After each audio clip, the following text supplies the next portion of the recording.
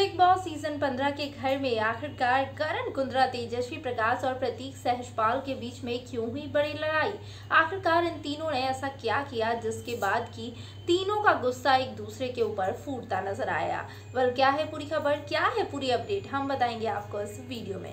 नमस्कार, मैं सृष्टि आप सबका स्वागत करती हूँ हमारे यूट्यूब चैनल पर।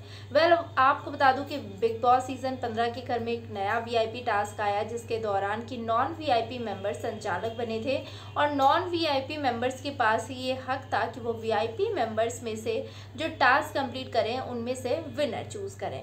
वेल नॉन वीआईपी मेंबर्स इस बात का डिसीज़न कर चुके थे कि उन्हें निशान भट्ट को ही विनर बनाना है, क्योंकि निशान भट्ट की उनसे पहले से ही ऑटोमेटिक बात हो चुकी थी। लेकिन जहाँ एक तरफ़ टास्क के दौरान करना ये था कि जो कॉटन बॉल्स थे वो कलेक्ट करके बास्केट में जमा करना था, जो ज़्यादा से ज़्यादा कॉटन बॉल्स सेलेक्ट कर पाता, उसको विनर बनाया जाता। वेल यहाँ पर करण कुंद्रा ने एक तिरकी अपनाई और करण कुंद्रा ने कहीं और से लाकर कॉटन बॉल्स ज़्यादा से ज़्यादा इकट्ठे करने लगे। लेकिन प्रतीक सहजपाल ने देख लिया और इसी बात पर प्रतीक सहजपाल और करण कुंद्रा के बीच में बड़ी फाइट हो गई। वह जहाँ हाथापाई तक बात आ गई थी, वहीं पर तेजस्वी प्रकाश ने करण कुंद्रा को रोकने की कोशिश की, लेकिन वहीं पर एक और तरफ़ तेजस्वी प्रकाश ने प्रतीक सहजपाल को कहा कि आखिरकार तुम्हारी हिम्मत कैसी हुई करण कुंद्रा से इस तरह से बात करने की?